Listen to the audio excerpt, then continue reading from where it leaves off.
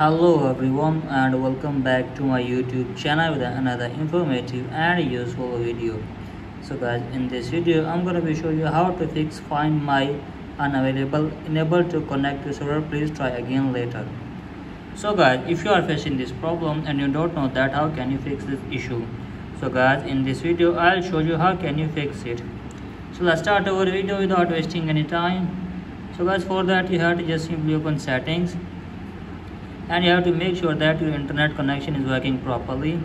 And after that guys you have to just simply open general tap on software update and make sure that you are using the updated version of iOS.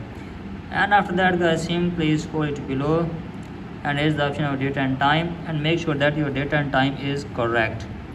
And after that go back again and here's the option of VPN and device management and make sure that there is no connected VPN on your device if there is connected VPN then simply disconnect it. And after this again go back tap on transfer reset iPhone tap on reset tap on reset network settings enter your iPhone passcode and reset your network setting for one time.